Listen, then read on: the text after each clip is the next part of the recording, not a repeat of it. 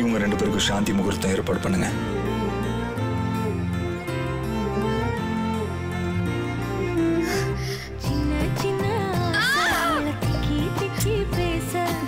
குட்டி ஜானு பிறந்துட்டா.